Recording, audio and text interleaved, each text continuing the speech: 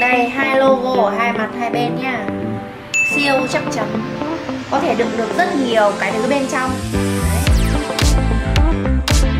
logo in nhũ này, hai mặt. Bên trong cực kỳ dày dặn.